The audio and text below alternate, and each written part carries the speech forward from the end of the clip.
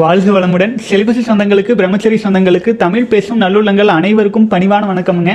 அன்பான சகோதரர்களே பிரம்மச்சரிய சகோதரர்களே இன்னைக்கு வந்து பதினெட்டாவது நாள். பதினெட்டாவது நாளுக்கான வீடியோ. ஆக்சுவலி நம்ம வந்து கிட்டத்தட்ட இருபது நாளுக்கு மேலே கடந்தாச்சு. இடையிடையில் வந்து வீடியோஸில் கேப் வந்ததுனாலங்க. சகோதரர்கள் பலரும் புதுசு புதுசாக டிஸ்கவுண்டிங் அப்டேட் பண்ணிட்டு இருக்கீங்க கீழே கமெண்ட்ஸில் அனைவருக்கும் ரொம்ப ரொம்ப நன்றி. பல சகோதரர்கள் வந்து பார்த்தீங்கன்னா திரும்பவும் முதல்ல இருந்து அப்படியெல்லாம் வரதை பார்க்குறேன் இப்போ ஆரம்ப இருபது நாள் கிட்ட நம்ம நெருங்கிட்டு இருக்கோம் இல்லைங்களா? இந்த சமயங்கள்லாம் வந்து நமக்கு அபரிமிதமான ஆற்றல் ரெடி ஆயிருக்கும். இது வந்து டிரான்ஸ்மியூட்டேஷன் ஆவதற்கான பாதையை நம்ம உருவாக்கணும். இப்போ முதல் நாளில் இருந்த வேகம் சிலப்போ அந்த பயிற்சி செய்யலாம் இந்த பயிற்சி செய்யலாம் இது இந்த பிர- பிரம்மச்சரியத்தில் ஸ்ட்ராங்காக இல்லாததுனால வந்த குறைபாடுகள் எல்லாம் வருத்தப்பட்டு நம்ம துவங்கியிருப்போம். ஆனால் இருபது நாள் ஆனோடனே உடலில் ஓரளவுக்கு ஆற்றல் வந்தோடனே இந்த வண்டு கொளுத்துச்சுன்னா வலையில் தங்காது அப்படிங்கிற மாதிரி ஆற்றல் விரயத்துக்கு வந்து வேறு வேற வேற வாய்ப்புகளை உடல் தேட ஆரம்பித்தோம் இந்த சமயங்களில் சகோதரர்கள் வந்து மன உறுதியோடு அது எப்படி வந்து நம்ம ஆற்றலை சரியான பாதைக்கு இறைவனின் பாதத்தில் சமர்ப்பித்து எடுத்துகிட்டு போகிறது அப்படிங்கிறதுக்காக தான் நம்முடைய முன்னோர்கள் லட்சக்கணக்கான யோகிகளும் குருமார்களும் பல பல பயிற்சிகளையாக கொடுத்து நம்மை நம்மிலேயே ஒன்றி அப்படியே ஆழ்ந்து இருக்க வைக்கிறதுக்கான முயற்சிகளை மேற்கொண்டாங்க. அப்படி பண்ணும்போது நம்முடைய ஆற்றல் விரயம் தவிர்க்கப்படும். அதே சமயம் நாம் எல்லாமல்ல இறைவனோட நம்மை ஐக்கியப்படுத்தி எடுத்துகிட்டு போகிறதுக்கான ஒரு வாய்ப்பு கிடைச்சது. அதாவது சமயம்னு சொல்லுவாங்க. நம்ம பாரத தேசத்துல தோன்றிய அனைத்து மதங்களையுமே இந்து சமயம் புத்த சமயம் சமண சமயம். ஏன் சம் சமயம் அப்படின்னு சொல்றாங்கன்னா அது அழகான தமிழ் வார்த்தைங்க. சமம் ஈக்குவல் டு அம். சமம் பிளஸ் அம் ஈக்குவல் டு சமயம். இது அதாவது எப்படி சொல்லலாம்னா அம் என்பது நம்முடைய உள்ளாக இருக்கும் ஆ உ இம். ஆச்சுங்களா? நம்முள்ளாக இருக்கும் இறைநிலையை குறிப்பது. சமம் என்பது இறைவனுக்கு சமமாக நம்மை உயர்த்துவதற்கான ஒரு மார்க்கம். ஆச்சுங்களா? இறைவனுக்கு சமமாக நம்மை உயர்த்துவதற்கான மார்க்கம். அது அதனால அதைய சமயம் அப்படின்னு சொல்லுவாங்க. சமம் ஈக்குவல் டு ஓம் சமயம் அப்படின்ட்டு வரும். அது ஒரு உதாரணம். இன்னொன்று வந்து பார்த்தீங்கன்னா இந்த நேரத்தில் இந்த க்ஷணத்தில் இந்த நொடியில் இந்த சமயத்தில் வாழணும். இந்த சமயம் சமயம் நம்ம ஏன் சொல்கிறோம் இந்த சமயத்தில் இந்த செகண்டில் அந்த செகண்டில் லீவ் பண்ணணும்னு சொல்கிறாங்க இல்லைங்களா? அதற்கான பாதையை உருவாக்குவது தான் பாரத தேசத்தில் வந்த பல்வேறு யோகிகள் போதித்த வழிகள். இந்த க்ஷணத்தில் வாழ்ந்தோம் அப்படின்னாலே எந்த எண்ணங்களும் இல்லாமல் நம்மளால இருக்க முடியும்.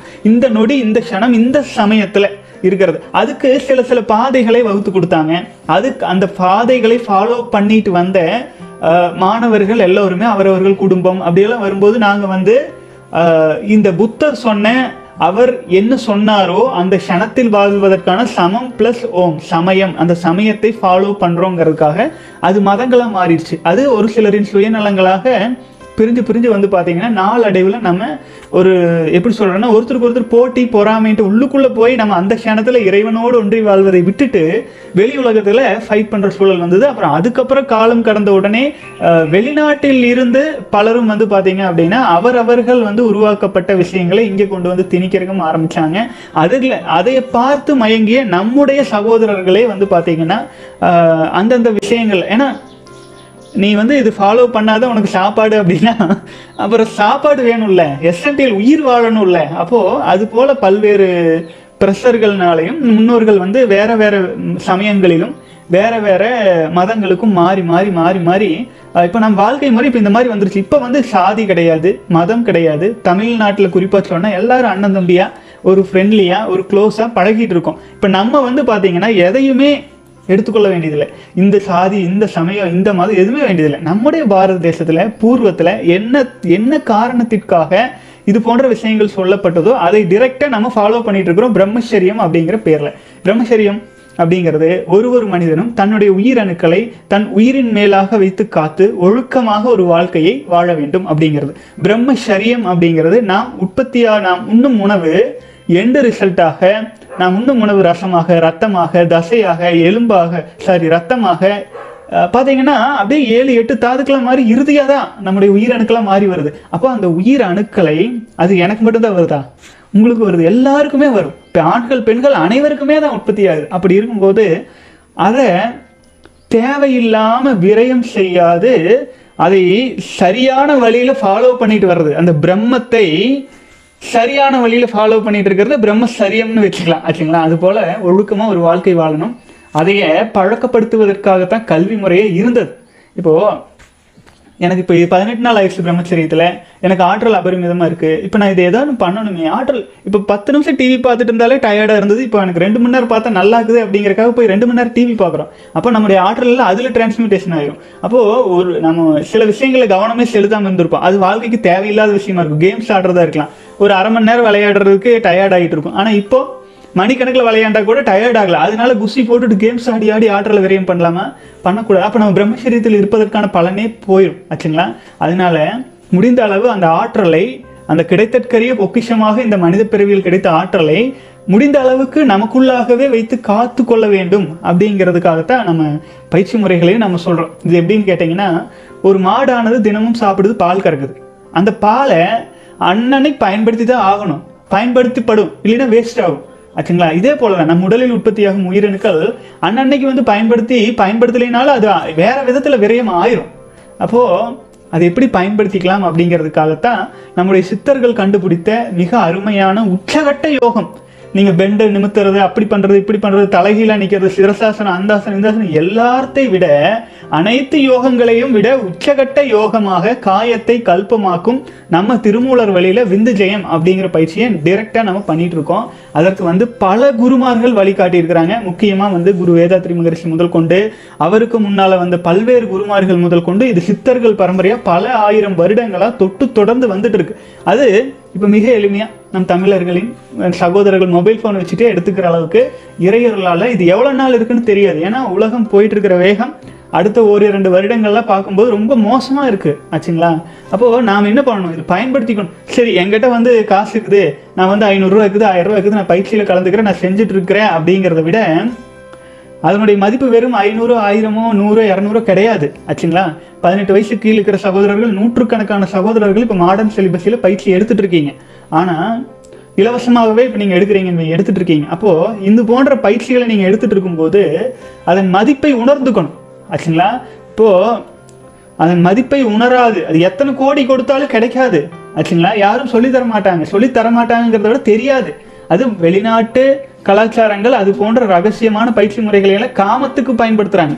காமத்தை ஊக்குவிக்குவதற்கு காம நீண்ட நேரமா காமத்தில் ஈடுபடுவது எப்படிங்கிறது இது போல சீப்பான விஷயங்கள்ல ஒரு சில தந்திரா கிந்திரா அப்படி இப்படின்ட்டெல்லாம் வந்து இனப்பெருக்க செயல்பாடுகளை ஊக்குவிப்பதற்கு அதில் ஒரு ஆசையை காட்டி பணம் பறிக்கும் வேலைகள் எல்லாம் பண்ணுறாங்க ஆகவே நீங்கள் வந்து சரியான இடத்துல சரியான வழியில் நம் முன்னோர்களின் பாதையில் கரெக்டாக இப்போ இந்த வீடியோ பார்த்துட்டு இருக்கிறவங்க எல்லோருமே திருமூலரால் சிவவாக்கியரால் மிகப்பெரிய சித்தர் குருமார்களால் ஆசீர்வதிக்கப்பட்டு தான் நம்ம இது பார்த்துட்டு இருக்கோம்.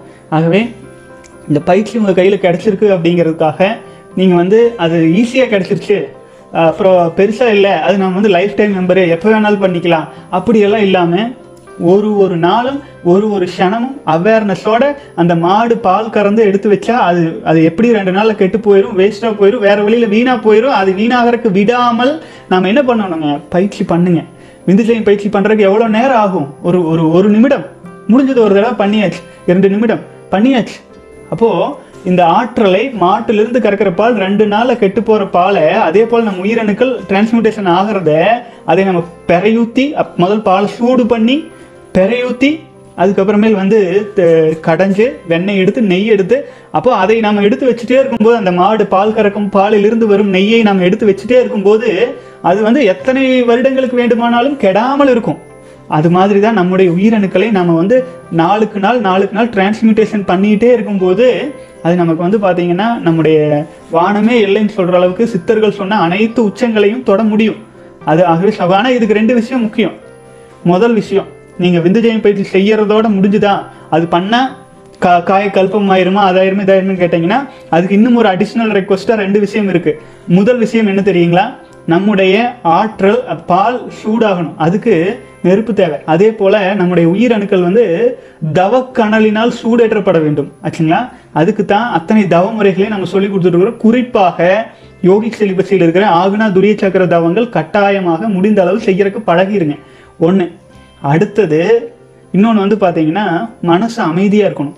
மனதில் அபரிமிதமான ஆற்றல் விரயம் நிகழும். அப்போ மனம் சார்ந்து நம்ம சொன்ன அதுவும் தியானம் செய்வதன் மூலமாகவும் தவத்தின் மூலமாகவும் மனதின் இயக்கத்தை புரிந்து கொள்ளுவதன் மூலமாகவும் மனசுக்கு எதிராக போராடக்கூடாது. மனசு இயங்கிட்டே இருக்கட்டும். ஆற்று தண்ணீர் போயிட்டே இருக்கட்டும். நம்ம குறுக்கால போய் நின்று தடை ஏற்படுத்தவே கூடாது. மனசு இயங்கட்டும். ஆனா நமக்கு என்ன தேவையோ அதை மட்டும் எடுத்து அதுக்கு அதை மட்டும் ஆராய்ச்சிக்கு எடுத்துக்கொண்டு அது தேவையா இருந்தால் அதுக்கு ஊக்கம் கொடுத்து செயல்படுத்தலாமே ஒழிய மனதை வந்து பார்த்தீங்கன்னா எதிராக நின்று போராடி அதுலேயும் ஆற்றல் வரையும் செய்யக்கூடாது. ஆச்சுங்களா அதுக்கான வழிமுறைகளை எல்லாம் பல வீடியோஸில் நான் சொல்லியிருக்கேன். சகோதரர்கள் ஃபாலோ பண்ணிட்டு வாங்க. பதினெட்டு நாள் வெற்றிகரமாக கடந்து வந்துட்டு இருக்கோம். இன்னைக்கு வந்து பார்த்தீங்கன்னா சித்தர் பல சகோதரர்களின் கேள்வி பதிலாக நான் அப்போ அப்போவே ரிப்ளை போட்டு விட்டேன். ஆகவே இன்னைக்கு வந்து ரெண்டு சித்தர் பாடல்கள் சித்தர் பாடல்கள் சிவவாக்கியர் பாடல் மிக எளிமையான பாடல். அப்புறம் பாபாஜி பற்றி பார்த்துடலாம். அடுத்தது நம் சகோதரர் பூஸ்டர் புக்கை படிங்க படிங்கன்னு கேட்டதுனால இன்னைக்கு பூஸ்டர் புக்கு கொஞ்சம் நேரம் பார்க்கலாங்க வாழ்க வளமுடன். சிவவாக்கியர் பாடல் எடுத்துக்கிறேங்க. பொய்க்குடத்தில் ஐந்து ஒதுங்கி போகம் வீசுமாறு போல் இச்சடமும் இந்திரியமும் நீருமேல் அலைந்ததே அக்குடம் சலத்தை மொண்டு அமர்ந்திருந்தவாறு போல் இச்சடம் சிவத்தை மொண்டு உகந்தமர்ந்து இருப்பதே. வாழ்க வளமுடன். இந்த பாடல் வந்து பார்த்தீங்கன்னா ஐம்புலன்கள் வழியாக ஆற்றல் விரயம் எப்படி ஆகுதுங்கிறதுக்காக அருமையாக சிவவாக்கியர் எழுதிய பாடல். நான் வரி வரியாக படிச்சுட்டு உங்களுக்கு புரியும். பொய்க்குடத்தில் ஐந்தொதுங்கி போகம் வீசுமாறு போல் இச்சடமும் இந்திரியமும் நீருமேல் அலைந்ததே. அதாவது வந்து ஒரு பொய்யான ஒரு குடத்தில் ஓட்டை இருக்குன்னு வைங்களேன் அஞ்சு இடத்துல ஒரு ஓட்டை அஞ்சு ஐந்து ஓட்டைகள் உண்டு. ஒரு பொய் குடத்துல. அப்போ அது என்ன ஆகுங்க? நம்ம நடக்கும்போது நிற்கும்போது அந்த தண்ணி இடுப்பில் வச்சுட்டு போகும்போதெல்லாம் அந்த அஞ்சு கொ- தொலைல வேஸ்ட் ஆகுது இல்லைங்களா? வேஸ்டேஜ் ஆகிட்டே இருக்கு. அதே மாதிரியே பொய் குடத்தில் ஐந்து ஒதுங்கி போகம் வீசுமாறு போல் இச்சடமும் இந்திரியமும் நீருமேல் அலைந்ததே. அக்குடம் சலத்தை முண்டு அமர்ந்திருந்தவாறு போர் இச்சடம் சிவத்தை முண்டு உகந்திருந்தது இருப்பது. அதாவது இப்போ இது குடத்துக்கு ஒப்பிட்டு சொல்றாரு அந்த ஐந்து ஓட்டைகள் உள்ள அந்த குடம் நடக்கும்போது விசிறி விசிறி தண்ணீரை விரயம் செய்து இல்லைங்களா? அதே மாதிரியே இந்த உடம்பும் ஐம்புலன்கள் வழியாக ஆற்றலை விரயம் செஞ்சுட்டே இருக்கு. உங்களுக்கே புரியும். நான் பார்க்க இந்த வீடியோ பார்க்குறீங்கன்னு வைங்களேன் கண்கள் மூலமா பார்க்குறீங்க காதுல கேட்குறீங்க அப்போ ஆற்றல் விரயம்ங்கிறது நடக்குது. அதே மாதிரியே அந்த குடத்துல அந்த குடம் தண்ணீரை மோந்து வச்சிருக்கிற மாதிரி அந்த குடத்துல தண்ணி தானே வேஸ்ட் ஆகுது? அதே மாதிரி அக்குடம் சலத்தை மொன்று அமர்ந்திருந்தவாறு போல் இச்சடம் சிவத்தை மொண்டு உகந்து அமர்ந்து இருப்பது. அப்ப இந்த உடல் என்னத்தை மோந்து வச்சிருக்குது? குடத்துல தண்ணி இருக்குது வேஸ்ட் ஆகுதுங்கிறோம். இந்த உடல் சிவத்தையே மொண்டு வச்சிருக்கு அது வேஸ்ட் ஆகுதுங்கிறாரு. நான் என்ன சொல்லியிருக்கிறேன்? உயிரணுக்கள் அபரிமிதமான உயிரணுக்கள் ஐம்புலன்கள் வழியாக விரயமாகும் வேஸ்ட் ஆகும். அதுக்கு தான் தவங்களை எல்லாம் செய்யணும் அப்படின்ட்டு இந்த உடல் சிவத்தையே மொண்டு அமர்ந்திருக்குது. உயிரணுக்களாக அதிலிருந்து வரும் காந்தமாக அதிலிருந்து வரும் மனமாக அது ஐம்புலன்கள் வழியாக இப்படி விரயமாகுது. ஆகவே இந்த உடலை நாம் விரயம் செய்யும் ஆற்றல் சிவமே தான் இறைவனையே தான் நம்ம விரயம் செய்கிறோம் அதுக்கு தான் இவ்வளோ அழகாக குடம் ஒரு குடம் நம்முடைய உடல். அது பொய் குடம் தான் அதில் அஞ்சு ஓட்டையில் தண்ணி ஊற்றிட்டு போகையில் வேஸ்ட் ஆகிட்டே இருக்கிற மாதிரி இந்த உடல்ங்கிற இந்த சடலத்தில் சிவத்தை முண்டு நம்ம உட்காந்துருக்கிறோம் சாப்பிட்ற உணவெல்லாம் உயிரணுக்கெல்லாம் மாறி வருது. அது ஐம்புலன்கள் வழியாக நம்ம விரயம் செய்கிறோம் அந்த விரயம் செய்கிறது தவிர்க்க வேண்டும். அதுதான் ஆன்மீகத்திற்கான பாதை. இப்போ இந்த பாடலை மறுபடியும் படிக்கிறேங்க. பொய்க்குடத்தில் ஐந்தொதுங்கி போகம் வீசுமாறு போல் இச்சடமும் இந்திரியமும் நீருமேல் அலைந்ததே. அக்குடம் சலத்தை மொண்டு அமர்ந்திருந்தவாறு போல் இச்சடம் சிவத்தை மொண்டு அகந்து அமர்ந்து இருப்பதே. வாழ்க வளமுடன். அடுத்து வந்து பார்த்தீங்கன்னா இன்னொரு அருமையான பாடல். பட்டமும் கயிறு போல் பறக்கின்ற சீவனை பட்டறிவினாலே நீ பார்த்து நீ படுமுடிச்சு போடடா. திட்டமும் படாதடா சீவனை விடாதடா கட்டடா சிக்க சிக்கன களவறிந்த கல்வனை வாழ்ந்து வளமுடன். இது அவ்வளோ அருமைங்க இந்த பாடல். பட்டமும் கயிறு போல் பறக்க நின்ற சீவனை. இப்போ நம்முடைய உடலில் உற்பத்தியாகும் உயிரணுக்களானது அது அப்படியே இருக்காது. அது ஐம்புலன்கள் வழியாக வெவ்வேறு விதங்களில் ஒவ்வொரு ஆற்றல் இன்னொரு ஆற்றலில் டிரான்ஸ்மிட்டேஷன் ஆகி போயிட்டே இருக்கும். அப்படி இருக்கும்போது அதை பட்டு அறிவினாலே அது பட்டு பட்டு அனுபவிக்கிறோம். நமக்கு எல்லாமே தெரிஞ்சிருக்குது. அப்போ இது விரயம் செய்யக்கூடாது ஆற்றல் விரயம் பண்ணக்கூடாது அப்படிங்கிறதுனால பட்டறிவினாலே பார்த்து படு முடிச்சு போடுறா நல்லா பிடிச்சி இழுத்து வச்சுக்கோ தவம் பண்ணு நல்லா அப்படிங்கிறாரு. அடுத்தது இப்படி நம்மை விட்டு ஆற்றல் விரயம் ஆயிக்கொண்டே இருக்குதுங்கிறதுக்காக சிவத்தை திட்டக்கூடாது. திட்டவும் படாதடா.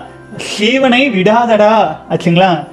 கட்டடா நீ சிக்கன களவறிந்த கல்வனை. ஆச்சுங்களா? எவ்வளவு அழகு பாருங்க எவ்வளவு அழகு. அதான் எல்லாம் உள்ள இறையாற்றல் சீவன் வேறு சிவன் வேறு உயிரணுக்கள் வேறு இல்லை. ஆச்சுங்களா பேர் வேறு வேறு வேற வச்சுக்கலாம். நம் முன்னோர்கள் சிவம் அப்படிங்கிறத நம்முடைய உயிரணுக்களாக அது இறுதியாக வெளியேறும்போது நேரடியாகவே வெளியேறும்போது விந்து சக்தி மூலமாக போயிடும் அபரிமிதமாக போகும். மனதின் மூலமாக விரயமாகும். இதையெல்லாம் கண்ட்ரோல் பண்ணி நமக்குள்ளாக கண்டென்ஸ் பண்ணி நம்ம ப்ராப்பராக டிரான்ஸ்மிட்டேஷன்லாம் பண்ணும்போது காயம் கல்பமாகும். அப்புறம் வந்து பார்த்தீங்கன்னா இறுதியாக மரணமில்லா பெருவாழ்வு அப்படிங்கிற ஒரு அருமையான முக்தி சித்தியாகும். இந்த உடலுக்கு அழிவு வரும். இந்த உடலுக்கான ஒரு காலம் உண்டு. எவ்வளோதான் கல்பதேகம் பண்ண ஆனால் இந்த உடலை கூட விடுவித்து கொண்டு சித்தர்கள் போல வாழ்ந்துட்டும் இருக்க முடியும். ஆச்சுங்களா? அதற்கான எவ்வளவோ ரகசியங்கள் உண்டு. நம்முடைய சித்தர் பாடல்களிலும் உண்டு. ஆனால் இப்போ என்ன பிரச்சனைன்னு வைங்களேன் இப்போ நம்மளாம் வந்து ஒரு எல்கேஜி ஸ்டூடெண்ட் ஸ்டேஜில் தான் இருக்கோம். பிரம்மச்சரியத்தில் பன்னிரெண்டு வருடம் ஆழ்ந்து கடந்து போனவங்களுக்கு அடுத்தடுத்த ஸ்டேஜ் எல்லாம் சொல்லி கொடுக்கலாம். சொல்லலாம். பரகாய பிரவேசம். அப்புறம் ஒவ்வொரு வகையான ரகசியங்களும் உண்டு. நம்ம ஒன்றா டெஸ்ட் பண்ணி பண்ணி பண்ணி நம்ம உடலை சோதிச்சு சோதிச்சு நம்மளை மேம்படுத்திட்டே வரலாம். ஆனால் அது வந்து அடுத்தடுத்த வகுப்புகளுக்கு வரணும். அதுக்கு அடிப்படையாகவே பிரம்மச்சரியத்துலலாம் ஒரு ஒரு ஆயிரம் நாட்களை எல்லாம் கடந்திருக்கிற அளவுக்கான வலிமை வேண்டும். ஆகவே அதில் வந்து ஒரு குறைஞ்சபட்சம் குறைஞ்சபட்சம் வந்து ஒரு ஒரு நூறு பேர் ஆயினும் ஒரு வலிமையான மனிதர்களாக மாறி வந்துடணும் அப்படின்ட்டே தான் நம்ம வந்து டெலிகிராமில் ஆயிரம் நாள் சேலஞ்ச் குரூப் ஆரம்பித்து வச்சுருக்குறோம். அதுவும் நடந்துட்டு இருக்கு வெற்றிகரமாக கிட்டத்தட்ட நூற்றம்பது பேர்கிட்ட மேலேயே வந்துட்டாங்கன்னு நினைக்கிறேன். எல்லோருமேங்க இப்போ வீடியோ பார்த்துட்டு இருக்கிற எல்லோருமே குறைஞ்சபட்சம் ஒரு ஆயிரம் நாள் பிரம்மச்சரியத்தில் கடந்து தான் பாருங்களேன். ஒட்டுமொத்த வாழ்நாளில் நம்முடைய முன்னோர்கள்லாம் அசால்ட்டாக பன்னெண்டு வருடங்கள் கடந்திருக்கும் போது நம்ம எல்லாருமே வந்து ஒரு ஆயிரம் நாட்கள் பிரம்மச்சரியத்தை திருமணத்துக்கு முன்பாக கடந்து வரணும். ஒருவேளை திருமணம் ஆகிட்டா வெல் அண்ட் குட் அவங்களுக்கு குழந்தை வேற இருந்துச்சுன்னா அதை விட சிறப்பு. அப்போ நீங்கள் வந்து எளிமையாக ஆயிரம் நாட்கள் கடந்து பார்க்கலாம். இப்போ குழந்தை பிறப்புக்காக மட்டுமே உயிரணுக்களை விரயம் செய்யும் போது சிவத்தை நீங்கள் காப்பாத்துறீங்க. அப்படிங்கிறது உங்களுக்கே புரிய வரும். வாழ்க்கை துணை இருக்குது அவங்களுக்கு ஒரு இன்பத்தை கொடுக்கணும். அப்படி இப்படின்னு அதுக்கெல்லாம் எவ்வளவோ ட்ரிக்ஸ் இருக்குதுங்க. அதுக்கெல்லாம் நம்ம பயிற்சி முறைகள்லேயே விந்து விடா போகம்னால சொல்லியிருக்கோம். அந்த சில விஷயங்களெல்லாம் யோசிச்சு உங்கள் குடும்பத்துக்கும் சூழ்நிலைக்கும் வாழ்க்கை துணைக்கும் தகுந்தாற் போல எல்லா படிப்படி ஏன்னா எல்லாருக்குள்ளும் இருப்பதே சிவன் தான். ஆகவே மனம் இருந்தால் தான் மார்க்கம் உண்டாகும். மனதளவில் ஒரு ஒருவரும் தன்னுடைய உயிரணுக்களையும் ஆற்றலையும் விரயம் செய்யாது வலிமையோடு கடந்து வரணும்னு எல்லாம் இறைவனை வேண்டிக்கிறேங்க. அப்புறம் நம்ம சகோதரர் ஒரே ஒரு கேள்வி கேட்டிருந்தாரு. அதுக்கு வந்து நான் ரிப்ளைல போட முடியல அதனால நான் படிச்சிடுறேங்க அண்ணா மகாவதார் பாபாஜி பாபாஜி பற்றி கொஞ்சம் கூறுங்கள் அண்ணா. நான் அவரின் தீவிர பக்தன். சொல்லுங்க ப்ரோ வாழ்க வளமுடன் அதாவதுங்க மகாவதார் பாபாஜி பற்றி நான் ஏற்கனவே ஒரு வீடியோவில் பேசியிருந்தேன். அதாவது அவர் வந்து தமிழ்நாட்டிலிருந்து போனார் அப்படி பெரும்பாலான யோகிகள் தமிழ்நாட்டிலேருந்து போனவங்க தானுங்க. அது பாபாஜியும் இங்கிருந்து போனவர் அப்படிங்கிற மாதிரி கேள்விப்பட்டிருக்கேன். அப்புறம் வந்து பார்த்தீங்கன்னா அவர் போகரின் சீடராகவும் அதுக்கு அடுத்தது வந்து தன்னுடைய அகத்தில் இருக்கும் ஈசனையே குருவாக எடுத்துக்கொண்டு தன்னை மேம்படுத்தி கொண்டார் என்றும் அவர் வந்து பார்த்தீங்க அப்படின்னா குண்டலினி சக்கர தவ முறைகளை முக்கியத்துவப்படுத்தி கிரியா யோகம் அப்படிங்கிற பயிற்சி முறைகளை சொல்லிட்டு இருக்கிறதாகவும் அந்த கிரியா யோகம் அப்படிங்கிறது முழுக்க முழுக்க நம்முடைய உயிரணுக்களை வந்து படிப்படியாக மேல் நோக்கி எடுத்துகிட்டு வர்றது தான் நம்ம சொல்கிற அதே விஷயங்கள் தான். விந்துஜயம் பயிற்சி நம்ம தனியாக சொல்கிறோம் குண்டலினி யோகம் தனியாக சொல்கிறோம் மற்ற பயிற்சிகள் தனியாக சொல்கிறோம் கிரியா யோகத்தில் எல்லாத்தையுமே இணைச்சி ஒரே ஒரே பார்ட்டாக சொல்கிற மாதிரி இருக்கும். ஆனால் ஒவ்வொன்றின் அருமை பெருமைகளை தெரிஞ்சு நம்ம போகும்போது தான் நம்ம அதில் முழுமையாக கோர்வையாக கொண்டுட்டு வர முடியும். பத்தொன்பதுவா ஒரே பயிற்சியாக செய்கிறதுனாலும் அதற்கான பயிற்சி நம்ம பயிற்சி வகுப்புகளில் நம்ம கொடுத்துருக்குறோம். ஆகவே பாபாஜி அப்படிங்கிறது வந்து அவர் வந்து என்னுடைய நேரடி அனுபவங்கள் இல்லை. குரு வேதாத்திரி மகரிஷி வள்ளலார் சித்தர்கள் அப்படி அந்த அளவில் மட்டுமே இருக்குது பாபாஜி வந்து அவர் இமயமலையில் போய் செட்டில் ஆகிட்டாருங்கிறதுனால அவர் வந்து வட இந்தியர்களுக்கு ஆழமாக பல்வேறு பயிற்சிகளை எல்லாம் சொல்லி நல்ல ஃபேமஸ் தமிழ்நாட்டை விட நார்த் இந்தியாவில் தான் அவர் ரொம்ப ஃபேமஸாக இருக்காரு. இங்கே பல சினிமா நடிகர்கள்லாம் அதுக்கு சப்போர்ட்டாக இருக்காங்க. ரொம்ப சந்தோஷமாக இருக்குது நம்முடைய சித்தர். அவரும் ஒரு சித்தர் தான். அவர் வந்து ஒன் ஆஃப் தி மிகப்பெரிய சித்தர். போகருக்கு அடுத்து வந்த போக போகரை நேரடியாகவே குருவாக கொண்ட ஒரு பெரிய சித்தர் அவர். ஆகவே எனக்கு தெரிஞ்ச அளவு இந்த அளவு தானுங்க. மேலும் ஏதாச்சும் நல்ல நல்ல விஷயங்கள் தெரிய ஆரம்பிக்கும் ஏன்னா அடுத்தவங்க எழுதின புத்தகத்தை பார்த்து நம்ம ஒப்பிக்கிற அந்த ஐடியா இல்லை. ஏதாச்சும் நேரடி அனுபவங்கள் வந்து நான் நிச்சயமாக வந்து உங்ககிட்ட பகிர்ந்துக்கிறேன். அடுத்தது வந்து பார்த்தீங்க அப்படின்னா பூஸ்டர் புத்தகத்தை பற்றி அன்னைக்கு விட்டுருந்தோம்.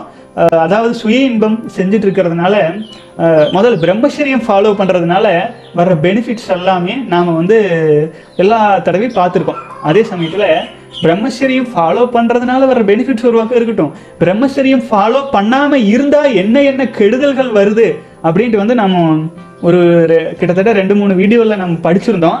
அதை வந்து நான் என்ன பண்ணுறேன்னாங்க ஒரு சின்ன ரிமைண்டர் மாதிரி சுய இன்பம் பண்ணுறதுனால வர்ற கெடுதல்கள் என்ன என்னன்ட்டு முதல்ல வரிசையாக படிச்சுட்டு வந்துடுறேன். அடுத்தது மீ விட்டு போன விஷயங்களையெல்லாம் கொஞ்சம் விளக்கம் கொடுத்து நான் படிச்சுட்டு வந்துடுறேன். பாதிப்புகள் என்னென்ன பாதிப்புகள் வரும்? சுய இன்பம் செய்வதனால்.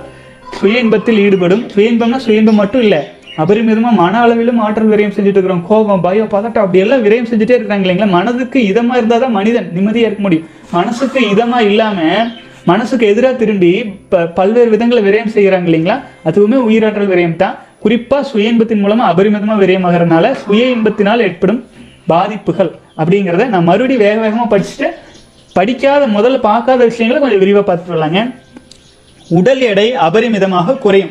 தாழ்வு மனப்பான்மை அதிகரிக்கும். சுய இன்பம் செய்யறதுனால எதிர்பால் இனத்தவரிடம் பேசவும் பார்க்கவும் கூச்சம் அதிகரிக்கும். எந்த செயலையும் முழுமையாக முடிக்கும் சக்தி குறைந்து கொண்டே வரும் சுய இன்பம் செஞ்சுட்டே இருக்கிறவங்களுக்கு ஞாபகத்திறன் குறையும் விந்து சக்தி நீர்த்து போய்விடும் குழந்தை பிறப்பில் தாமதம் அப்புறம் பலவீனமான குழந்தை பிறப்பு எல்லாம் ஏற்படும் தோல்விகளை தாங்கவே முடியாத அளவுக்கு மன துயரம் உண்டாகிவிடும். அடுத்தது உடல் உள்ளுறுப்புகள் எல்லாம் பலவீனம் அடைந்து கொண்டே வரும் நோய் எதிர்ப்பு சக்தி குறைந்து கொண்டே வரும். அபரிமிதமான கோபம் பயம் சஞ்சலம் ஏற்படும் மனதில். அடுத்தது தோல்வி பயத்தினால் எந்த செயலிலும் ஈடுபட முடியாத மனநிலை உண்டாகும். எந்த பிரச்சனைகளையும் எதிர்கொள்ளும் சக்தி குறைந்து விடும் அடுத்தது ஆண்மை குறைவு பால்வினை நோய்களுக்கான விரைவில் நம்மை தொற்றிக்கொள்ளும் அளவுக்கு உடல் பலவீனம் அடையும். முகம் பொலிவு சுத்தமாக இழந்துவிடும். ஐம்புலன்களும் பலவீனம் அடையும். மரணத்தை நோக்கி வேகமாக நம்மை சுய இன்பமானது இழுத்துச் செல்லும். பேசும் வார்த்தைகளுக்கு நம் வார்த்தையை நாமே ஃபாலோ பண்ணாத அளவுக்கு அடுத்தவங்களும் நம்மை மதிக்காத அளவுக்கான சூழல் உண்டாகும். மற்றவர்கள் நம்மை மதிப்பதே இல்லை என்ன பண்ணாலும் என்ற எண்ணம் மேலோங்கும். சக்தியற்ற மனிதனாக சுய இன்பத்தின் மூலமாக மாறி வருவோம். உடல் பலவீனத்தால் எளிதில் உடலில் அடிக்கடி நோய் நொடிகள் வந்து கொண்டே இருக்கும். அடுத்தது ஏற்பட்ட நோய்கள் குணமாக நீண்ட காலம் எடுத்துக்கொள்ளும். மற்றவர்கள் நம்மை தோல்வியாளர்களாக பார்க்கும் தன்மை அதிகரிக்கும். தீய எண்ணங்கள் பாவங்கள் செய்யும் எண்ணம் அதிகரிக்கும். பலவீனமாக மனிதர்கள் மாறும்போது குறுக்கு வழிகள் நிறைய தோன்ற அதுதான் வந்து பார்த்தீங்கன்னா பாவம் செய்யவும் மனிதனை ஏற்- தூண்டும். அடுத்தது சக்திகளை ஈடு செய்ய அதிகமாக உணவு உட்கொள்ளும் நிலை ஏற்படும். அந்த உணவு அதிகமாக உட்கொள்வதன் மூலமாக ஜீரண உறுப்பு அபரிமிதமாக இயங்க வேண்டியது இருக்கும். அதன் மூலமாக உடலுக்கு செல்லப்படும் மற்ற மற்ற ஆற்றல்கள் மற்ற மற்ற வேலை செய்யும் விஷயங்கள்லாம் தடைபடும். அதன் மூலமாகவும் உடல் பலவீனம் அடையும் அடுத்தது பிற உயிரினங்களோடு பழகும் தன்மை குறைந்து அல்லது அவை நமக்கு கட்டுப்படாமல் இருக்கும். வாழ்க வளமுடன்.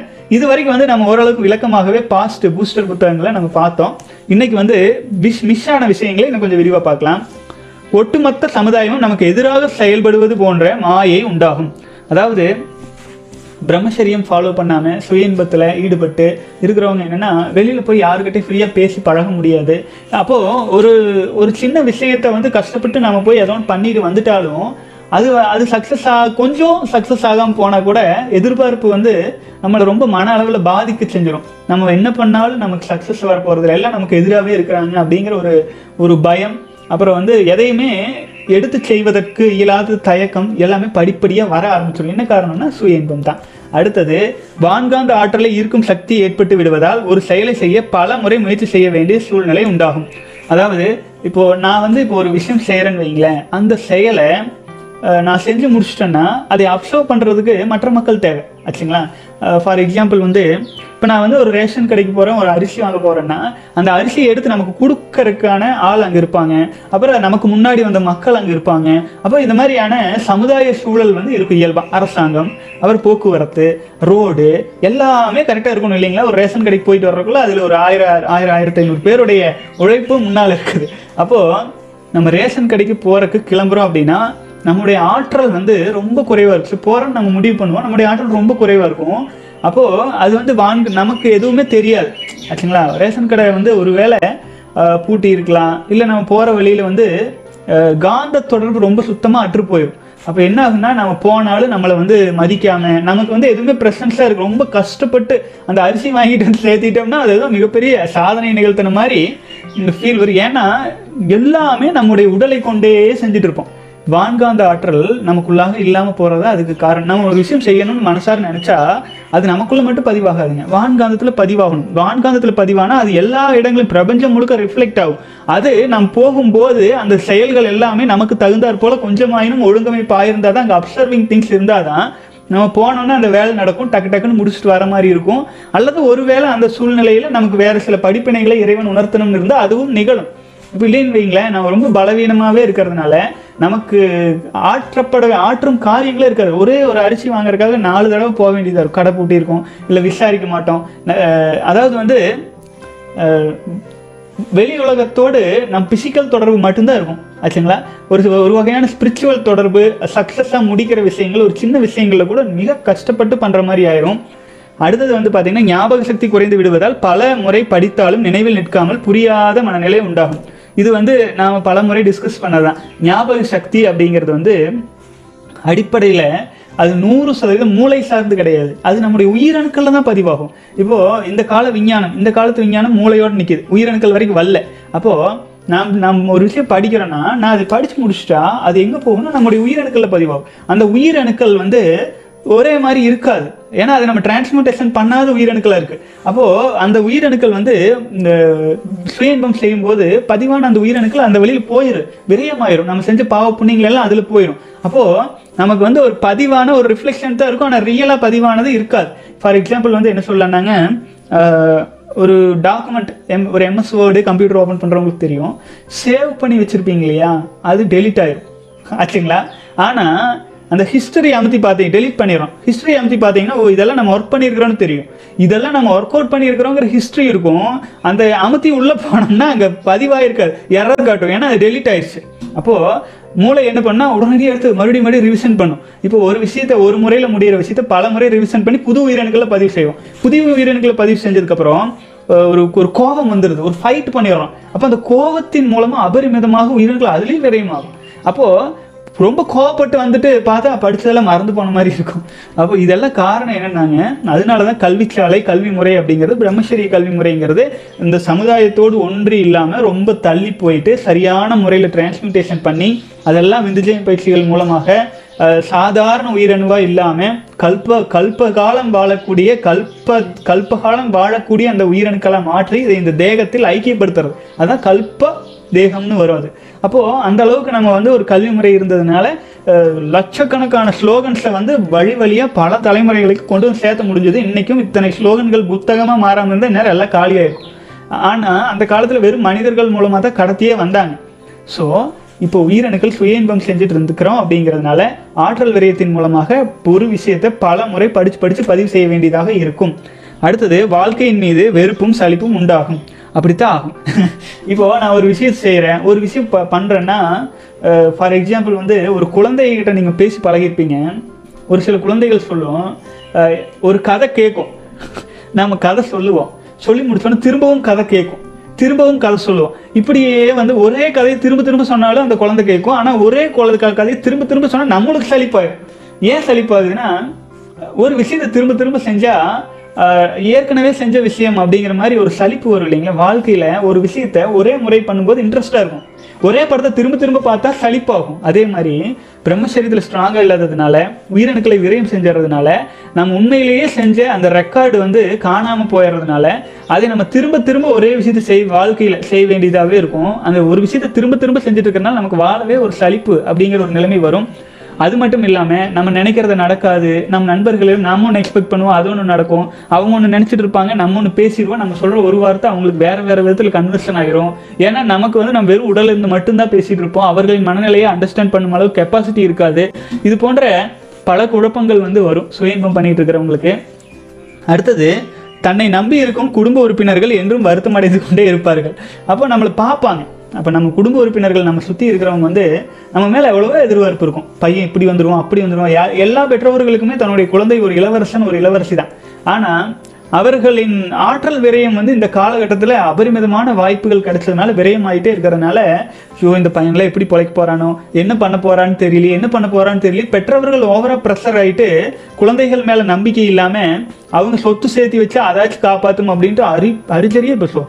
அபரிமிதமாக ஏழு தலைமுறை எட்டு தலைமுறை சொத்து சேர்த்துறாங்க அப்படின்னா பசங்க மேலே நம்பிக்கை இல்லைன்னு தான்.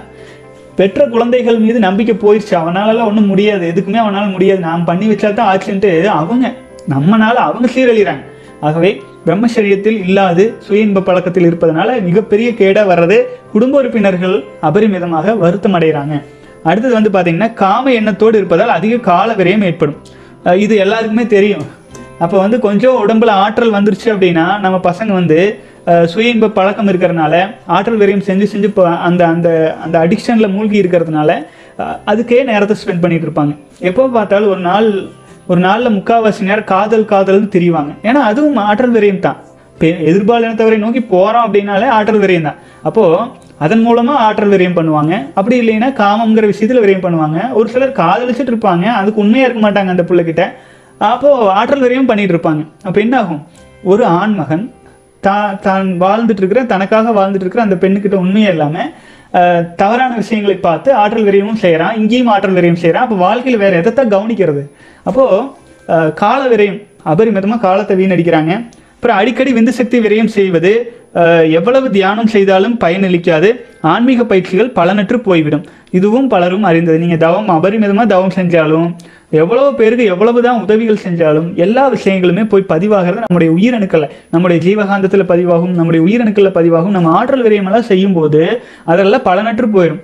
நம்ம பலமுறை சொன்ன விஸ்வாமித்திரர் கதை அதுதான் அவர் நூறு வருடம் ஆயிரம் வருடம் தவம் பண்ணிட்டு வந்தாலும் ஒரு பெண்ணின் பின்னால் மோக வலைப்பட்டு அவர் போகும்போது அல்லது வந்து ஆற்றலை விரயம் செய்யும் போது அவர் வந்து பார்த்தீங்க அப்படின்னா தடி ஊனிட்டு போகிற நிலைக்கு வீக்கம் ஆயிடுவார்.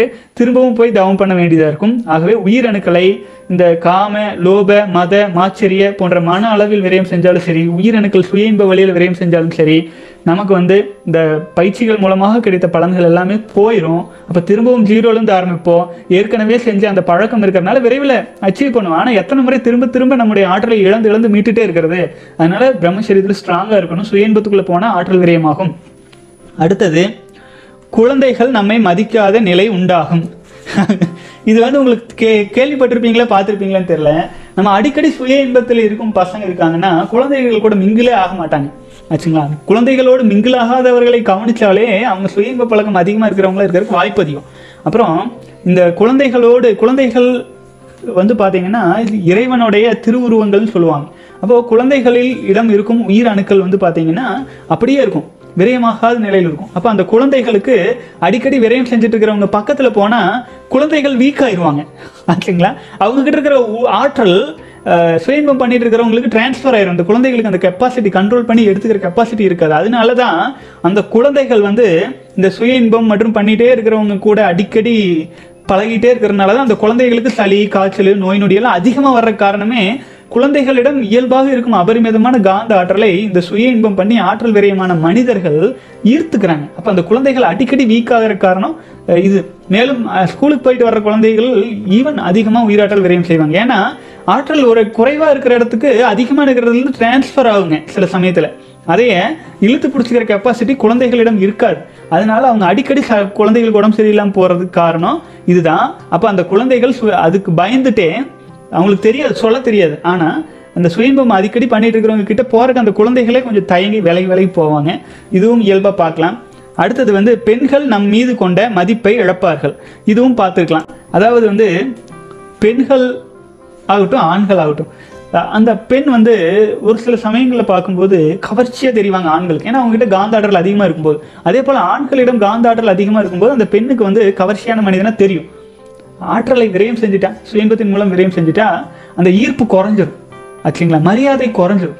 ஆச்சுங்களா? ஸோ அது மாதிரியான சூழல் வரும்போது பெண்கள் மீது வந்து பார்த்தீங்க பெண்களுக்கு வந்து அந்த ஆண் மீது இருக்கிற ஈர்ப்பு குறையும். ஏன் இப்போ நீங்கள் பார்க்கலாம் கல்யாணத்துக்கு முன்னாடி அந்த பெண் வந்து அந்த ஆண்மகன் மீது கொடுக்குற அந்த மரியாதையும் மதிப்பு அபரிமிதமாக இருக்கும். கல்யாணம் ஆகி நாளாக நாளாக ஆண் மீது மரியாதை குறைஞ்சிட்டே வரும். இது இன்னொரு காரணம் என்ன தெரியுங்களா? அந்த ஆண்மகன் அந்த பெண்ணுக்காகவோ அந்த பெண்ணை நினைத்தோ அல்லது சுய பழக்கத்திலேயோ உயிராற்றல் விரயம் பண்ணிட்டே இருக்கிறனால அந்த பெண்ணுக்கு அந்த ஆண்மகன் மீது மரியாதை குறைஞ்சிட்டே வரும். கடைசியில் தலையிலேறி கோந்துக்குவாங்க ஆச்சுங்களா? கடைசியில் பார்த்தா அந்த பெண்ணுக்காக தான் நீங்கள் உயிராற்றலே கொடுத்துருப்பீங்க. ஆனால் அந்த பெண்ணை மதிக்க மாட்டாங்க. நல்லா யோசிச்சுக்கோங்க அதனால தான் பிரம்மசரீரத்தில் ஸ்ட்ராங்காக இருக்கும்போது அந்த பெண்ணுக்கு உங்கள் மீது மதிப்பு அதிகரிக்கும். அப்போது நம்முடைய பாரத கலாச்சாரப்படி ஒரு நாற்பத்தி எட்டு நாள் ஐயப்ப சாமி மாலைக்கு போயிட்டு வர்றது அந்த மாதிரி எல்லாம் இருக்கிற ஃபேமிலிகளில் ஆண்கள் ஆன்மீகத்தில் அதிகமாக ஈடுபாடு இருக்கிற குடும்பங்கள் நீங்கள் பார்க்கலாம். அந்த பெண்களுக்கு கணவர் மீது அதிக மதிப்பு மரியாதை இருக்கும். அப்படி இல்லை வாழ்க்கையே நான் தன்னுடைய வாழ்க்கை துணை தான் அந்த பெண்ணு தான் எல்லாமே அப்படின்ட்டு விழுந்து விழுந்து கவனித்த ஆண்கள் அவமரியாதையை தான் சந்திச்சிருக்கிறாங்க. அது பலருமே வாழ்க்கையில் நேரடியாக பார்க்கலாம். வாழ்க்கை வளமுடன். அடுத்தது நீண்ட நேர உறக்கம் பெற்றாலும் உடல் வலிமையே அடையாது. இது ஃபீல் பண்ணியிருக்கலாம் பலர் நிம்மதியாக தூங்கி எவ்வளோ நல்லாச்சு சுயம்பம் பண்ணிட்டு இருக்கிறவங்க. நம்ம வந்து பார்த்தீங்கன்னா உறங்கும் போது ஆழ்நிலை தவம் செய்யும் போது விழிப்பு நிலையில் இருக்கும் விழிப்பு நிலையில் தவம் செய்யும் போதோ இல்லை விழிப்பற்ற நிலையில் உறங்கிக் கொண்டிருக்கும் போதோ இந்த உடலில் வான்காந்த ஆற்றல் அபரிமிதமாக நிறையும். வான்காந்த ஆற்றல் நமக்குள்ள காஸ்மிக் எனர்ஜின்னு சொல்லுவாங்க. அந்த ஆற்றல் நிறையும் போது அந்த ஆற்றலை ஈர்த்து வச்சுக்கிறதுக்கு வந்து நம்ம உடலில் உயிரணுக்கள் அதிகமாக இருக்கணும். அப்போது உயிரணுக்களை நம்ம விரயம் செஞ்சுட்டு இருக்கிறோம் அப்படின்னா அப்போது உறங்கும் போது வான்காந்த ஆற்றல் எவ்வளவுதான் வந்தாலும் நம்ம உடல் அதை ஈர்த்து வைக்காது. அப்போ என்ன ஆகும்னா எப்போதுமே தூங்கி எந்திரிச்சா கூட எனர்ஜெட்டிக்காக இருக்க மாட்டோம். அதுக்கு தான் சுய இன்பம் போன்ற பழக்கத்தில் இருக்கிறவங்க எப்போவுமே ஒரு வீக்காக டிப்ரெஸ்ட் ஆகும் இளமையில் இருக்கும்போது தெரியாது. ஆனால் நாளாக நாளாக நடமாட கூட முடியாத அளவுக்கு வீக் ஆயிடும் ஏன்னா வான்காந்த ஆற்றல் அவ்வளோ இம்பார்ட்டன்ட் உடலில் இருக்கும் காந்த ஆற்றலை வைத்துக்கொண்டே எல்லாம் சாதிச்சிட முடியாது. அப்படி செய்கிறப்ப வந்து தூக்கமே வேண்டியதில்லை. தூங்கி எந்திரிக்கிறோம் அப்படின்னாலே வான்காந்த ஆற்றல் நம்ம உடலுக்கு வந்திருக்குன்னு அர்த்தம். அதை அபரிமிதமாக இழுத்து கொள்ளணும் அப்படின்னா முதல்ல வயிறு எம்டியாக இருக்கணும். அடுத்தது வான்காந்த ஆற்றல் உள்ள நுழையணும். இதில் பல ரகசியங்கள் இருக்குதுங்க. இதெல்லாம் நம்ம அடுத்தடுத்த நாள் வீடியோக்களில் வாய்ப்பு கிடைக்கும்போது டிஸ்கஸ் பண்ணலாம். அடுத்தது பார்வை குறைபாடு மே- மேற்கொண்டு பல்வேறு குறைபாடுகள் அடிக்கடி ஏற்படும். அதாவது ஐந்து புலன்கள் வழியாக ஆற்றல் விரயத்தை அடிக்கடி செஞ்சுட்டே இருக்கிறதன் மூலமாக அந்தந்த பாகங்கள் பலவீனம் அடையுங்க அப்புறம் லைட் எரியுது. பவர் சப்ளை கம்மியாக இருந்தால் என்ன ஆகும் பிளிஸ் பிளிஸ் பிளிஸ் பிளிஸ் நிலை பீஸ் போயிடும். அது மாதிரி. ஃபேனில் சப்ளை கம்மியாக வந்துச்சுன்னா அதில் ஒயர் ப்ராப்ளம் வரும். அந்த மாதிரி பல்வேறு இடங்களில் சப்ளை கம்மியாக கம்மியாக வந்துட்டு இருந்துச்சுன்னா அந்த உரு அந்த விஷயம் டிவிலே ஆகட்டும் லேப்டாப்லேயே ஆகட்டும் மொபைல் ஃபோன்லேயே ஆகட்டும் பவர் இல்லைன்னா வீக் ஆயிரும். அந்த அந்த இன்ஸ்ட்ருமெண்ட்டே வீக் ஆயிரும். அதே மாதிரி அடிக்கடி சுயன்பம் பண்ணிகிட்டே இருக்கிறதன் மூலமாக ஐந்து புலன்களுமே ஆற்றல் குறைபாடாக இருக்கும். ஆனால் நம்ம முயற்சி பண்ணி பண்ணி பண்ணிகிட்டு இருப்போம் அப்போது வீக்காக ஃபீல் ஆயிரும். விரைவில் வந்து கண்ணு கெட்டு போகிறது அது மாதிரியான குறைபாடுகள் வர ஆரம்பிச்சிருங்க அடுத்தது வந்து ரத்த ஓட்டம் பலவீனம் அடையும். வாழ்க வளமுடன். ரத்த ஓட்ட பிரச்சனைகள் எல்லாமே ஏற்படும். ஏன்னு கேட்டிங்கன்னா காந்த ஆற்றல் இருக்காது. காந்த ஆற்றல் குறைஞ்சிட்டே வரும்போது ரத்தமானது அதுவும் பலவீனம் அடையும். ஆக்சிஜனையில இழுத்து வச்சுக்கிறதுக்கான கெப்பாசிட்டி குறைஞ்சிட்டே வரும். ஸோ இது இது வந்து பார்த்தீங்க அப்படின்னா அறிவியல் பூர்வமாக எதிர்காலத்தில் இதையெல்லாம் நீ விஞ்ஞானிகளாக இருக்கிறவங்க பார்க்குற மாணவர்களை ரிசர்ச்சுக்கு எடுத்துக்கோங்க. சுயன்பம் பண்ணிட்டு ரத்தத்தை டெஸ்ட் பண்ணி பாருங்கள் அதுக்கு முன்னாடி டெஸ்ட் பண்ணி பார்க்கணும். எனக்கு தோன்றிய விஷயங்கள் இதெல்லாம் நான் மென்ஷன் பண்ணி சொல்லிட்டு இருக்கிறேங்க அடுத்தது வந்து பார்த்தீங்கன்னா சிறிய பிரச்சனைகளுக்காக கூட பூதாகரமாக்கி கொள்ளும் மனநிலை உண்டாகும். நீங்கள் எக்ஸ்பீ எக்ஸ்பீரியன்ஸ் பண்ணியிருக்கலாம் ஒரு சில இடங்களுக்கு நம்ம போகும்போது ச- ஒரு சாதாரணமாக நம்ம காலை யாராச்சும் முடிச்சிட்டாங்கன்னு வைங்களேன். ஒரு பஸ்ஸில் போகும்போதோ இல்லை ஒரு ஒரு யாரோ ஒருத்தர் நம்மளை பார்த்து இன்சல்ட்டாக ஒரு வார்த்தை ரெண்டு வார்த்தை சொல்லிட்டாங்கனாலோ அது நாள் முழுக்க மனசில் வந்து பார்த்தீங்க அப்படின்னா ரொம்ப வா உலகமே நமக்கு எதிராக இடிஞ்சு விழுந்துட்ட அளவுக்கான வருத்தங்கள் எல்லாம் உண்டாகிறதுக்கு வாய்ப்பாகும். அதே சமயத்தில் சில சமயங்களில் நம்முடைய நெருங்கிய உறவு ரொம்ப க்ளோஸாக இருக்கிறவங்களே நம்ம விட்டு பிரிகிறாங்க இல்லை மரணம் அடைகிறாங்கங்கும் போது கூட நம்ம அப்படியே பெருசாக சாதாரணமாக ஹேண்டில் பண்ணியிருப்போம். இதெல்லாம் வந்து பார்த்தீங்கன்னா காந்த ஆற்றல் அதிகமாக இருக்கும்போது பெரிய பிரச்சனைகள் கூட சாதாரணமாக தெரியறதும் ஆற்றல் குறைந்து பலவீனமாக இருக்கும்போது ஒரு சின்ன விஷயங்களை கூட தாங்கிக் கொள்ள இயலாத மனநிலை உருவாகிறதையும் நாம் வந்து பார்த்தீங்கன்னா எளிமையாக உணரலாம். இதுக்கு வந்து பார்த்தீங்கன்னா நீண்ட காலம் பிரம்மச்சரியத்தில் கடந்து போகும்போது எந்த சூழ்நிலைகளையும் ஒரே மாதிரி ஹேண்டில் பண்ணுற அந்த ஃப்ளெக்சிபிலிட்டி நமக்கு எளிமையாக கிடைக்க ஆரம்பிக்கும். வாழ்க வளமுடன் சகோதரர்களை இன்னைக்கு கிட்டத்தட்ட முப்பது நிமிடம் நாற்பது நிமிடம் தாண்டிட்டோம். ஸோ மீதம் இருக்கும் இன்னும் நிறையா இருக்குது சுயன்பம் பண்ணுறதுனால வர கேடுகளே நிறையா இருக்குது இதெல்லாம் வேற எங்கேயுமே தெரியாத சொல்லப்படாத விஷயங்கள் நான் யோசிச்சு யோசிச்சு எழுதி வச்சிருக்கிறேன். ஸோ இதெல்லாமே வந்து இன்னும் மிச்சம் இருக்கிற விஷயங்களையும் நாளை தினமும் அல்லது அடுத்து வாய்ப்பு கிடைக்கும் நாட்கள்லயோ பார்க்கலாங்க. அப்புறம் சகோதரர்கள் சந்தேகங்கள் கேள்வி பதிலெல்லாம் இருந்துச்சுன்னா கீழே கமெண்ட்ஸில் போடுறத விட செலிபஸே இன்னட் ஜிமெயில் டாட் காம்க்கு மெயில் பண்ணி விடுங்க. மெயில் ஐடியெல்லாம் கீழே டிஸ்கிரிப்ஷனில் இருக்குது பார்த்து மெயில் பண்ணுங்கள் நம்ம வந்து அடுத்தடுத்த நாள் கேள்வி பதிலுக்கு எடுத்துக்கலாம். அப்புறம் முடிந்த அளவுக்கு வந்து ஏற்கனவே கேட்ட கேள்விகளே நிறைய கேட்டீங்கன்னா நான் பழைய வீடியோ பாருங்கன்னு நான் சொல்லுவேன். அதனால சொல்லாத கேள்வி. அடிக்கடி டெய்லி வீடியோ பார்க்குறவங்க தான் அதிகமாக இருக்கீங்க. ஆகவே புதுசாக ஏதாச்சும் இருந்தால் மட்டும் கேளுங்க. இல்லைன்னா நம்ம பூஸ்டர் புத்தகத்தை தொடர்ந்து ரிவ்யூ பண்ணுறதுக்கு ஆரம்பிச்சிருவோம். மேலும் மன உறுதியோடு இன்று பதினெட்டாவது நாள் கடந்து வாங்க. நாளை தினம் அடுத்த நாளுக்கான வீடியோவில் சந்திக்கலாம் சகோதரர்களே வாழ்க வளமுடன்.